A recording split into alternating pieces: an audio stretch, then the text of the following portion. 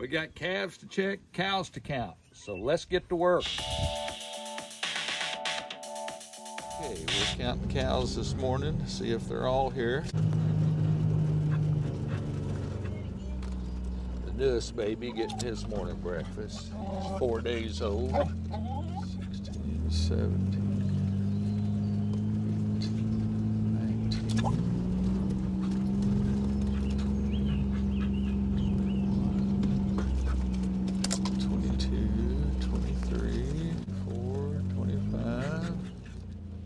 28.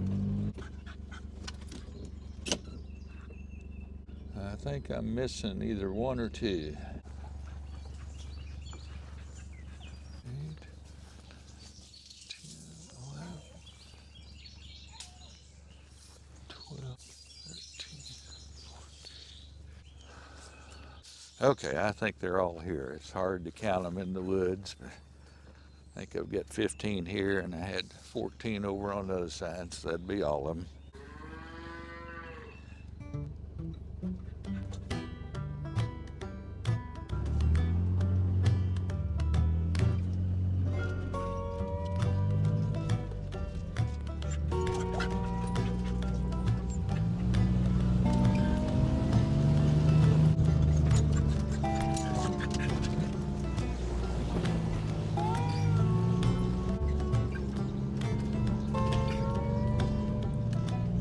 We're missing one cow down here at the creek place. It's cow number 41, orange tag.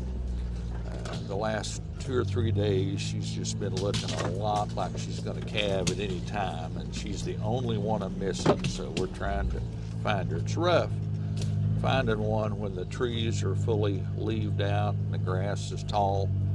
Uh, there's a cow in the creek right against the bank over here. I'm going to make sure that's not her. Nope. It's not.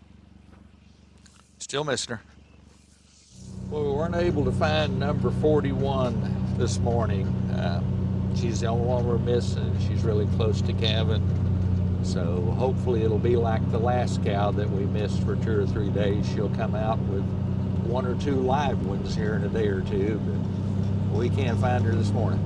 This rail fence that we've got that goes around our house here is about 25 years old. And last night we had a calf in the yard and it broke one of the rails.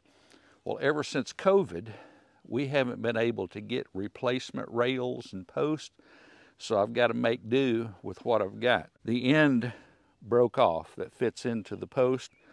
I'm going to saw it off and then screw in a two inch dowel that I've had with a four inch lag screw and it's going to replace the end of it hopefully. First thing I got to do is saw off the broken part and make it square with the rest of the pole. I'm just going to use a handsaw.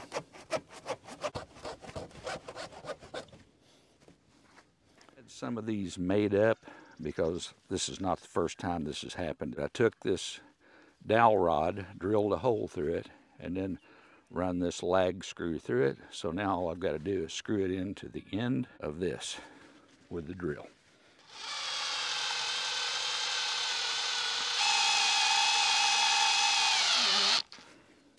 So I'm going to take the, the part that I put the dowel rod on, put it in as far as it'll go, Then take the other,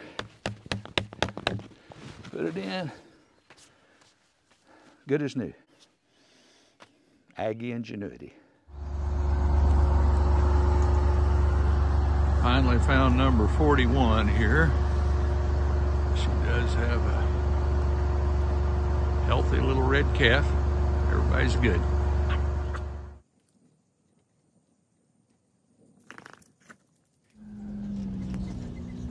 Just found barely over half the cows here. It's about noon. Didn't check them this morning. Only 18 of the 34 so far.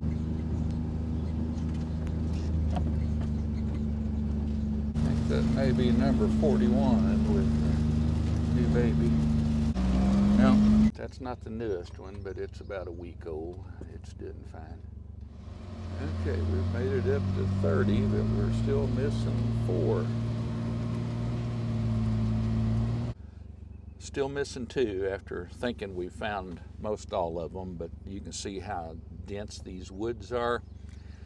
And they're back up in there in the shade. It's getting it's warmed up. It's rained a little bit. and it's really humid, so they're probably up there somewhere. I'm not too worried about them. Don't have any really close to calving down here.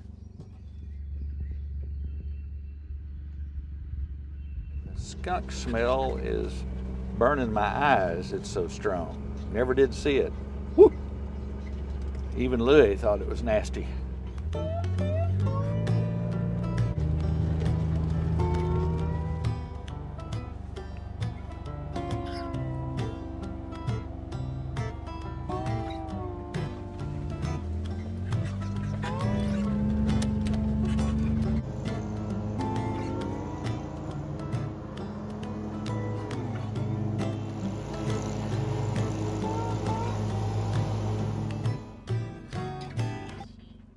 Just got our newest purchase delivered here. She's a purebred Beefmaster heifer. Uh, we just purchased from the neighbor. He just delivered her a few minutes ago. Uh, my wife saw her in another field and said she just had to have her. Thought she was the cutest little thing she'd ever seen. She is a very nice heifer. That face is memorable, to say the least. We'll leave her up in the corral here for a day or two just to make sure she gets settled in, give her some grain. Got a buzzard sitting on top of a fence post. It's fairly early in the morning, so I assume he's drying his wings from the evening dew or something. I don't know, but it looks kind of eerie sitting there.